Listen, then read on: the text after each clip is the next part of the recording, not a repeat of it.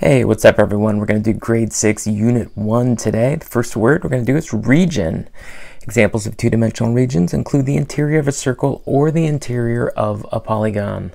So here we've got a couple circles and we want to know what the interior of that circle is. That's going to be the inside, shaded in in pink here. You know, it's just the region. That circle, the line itself is just the, the boundary point. The region is that space inside in the interior circle, polygon, it doesn't matter. We're just looking at that space on the inside that's contained inside. And when you have a two-dimensional shape like a polygon or circle, then we can measure that interior of that shape using something called area. And the area is just going to be the measure of that two-dimensional region. All right, the next word, area. The area of a two-dimensional region measured in square units is the number of square units that cover the region without gaps or overlaps.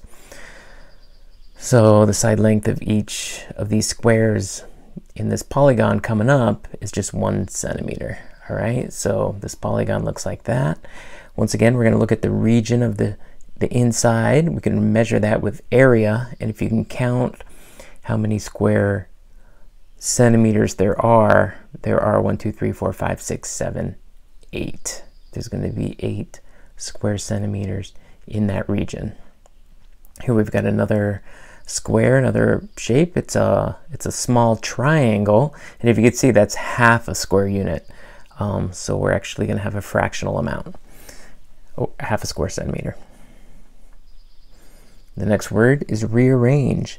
When we decompose a figure into pieces and put them back together in a different way, we are rearranging the pieces, like when you rearrange your room. Here's an example of a triangle that has been decomposed and rearranged into two squares. So we're going to start with this triangle, we're going to cut it up, and then we're going to take those pieces and we're going to take them and rearrange them into two different squares. So that's one, two. So those two parts of the triangle turned into a square and the, the middle part turned into a square also. Compose, decompose. Compose means put together and decompose means take apart. We use the words composed to describe putting several geometric figures together to make a new figure. Here we have a circle and we are we have a we have a square this shape, this pill shape, is composed of a square and two half circles. Okay, and when we take this same figure and decompose it, now we have those pieces. Parallelogram. A parallelogram is a four-sided polygon with two pairs of parallel sides. The opposite sides of a parallelogram are parallel. As a result of that, the opposite sides of a parallelogram have equal length. The opposite angles of a parallelogram have equal measure. So we have our parallelogram here. We have, notice these lengths are equal measure.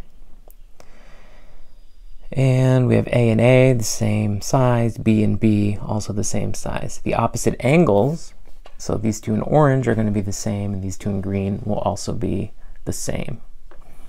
Base height of a parallelogram, these two words go together.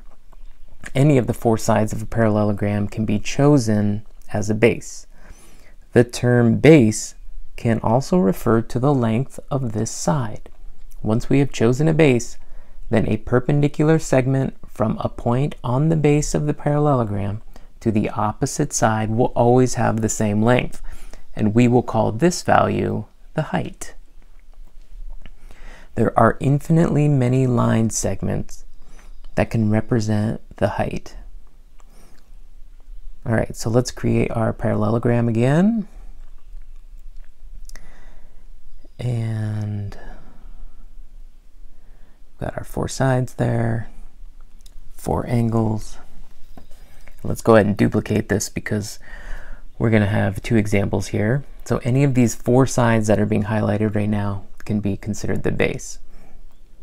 we're just going to pick, and we're going to pick uh, the side for the second one. This base 1, label this base 2. So these are two different parallelograms. So now we've chosen the base, we just need a perpendicular segment from the point on the base of the parallelogram to the opposite side. So let's review what a, a uh, perpendicular line is here. Perpendicular means 90 degrees, a 90 degree angle from another line, so it makes a right angle.